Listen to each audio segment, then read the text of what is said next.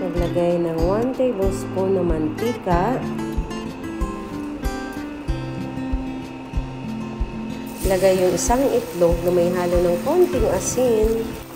Scrambled egg lang siya mga kaji. Ganon. Tapos baliktad-baliktarin lang natin. Halu-haluin. Ganyan.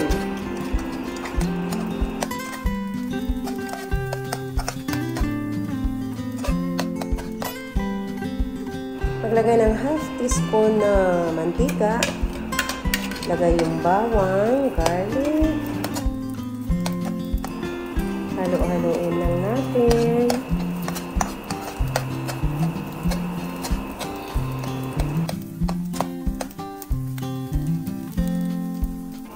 Ihalo mo na yung leftover na kanin.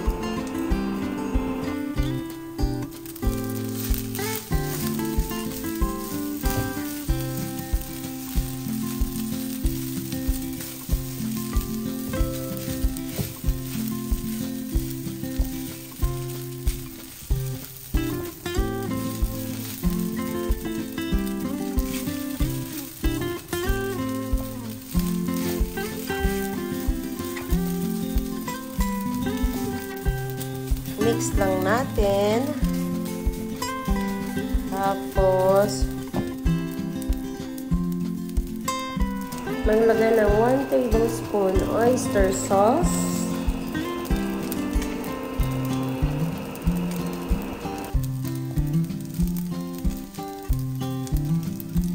Maglagay ng 1 8 teaspoon na asin.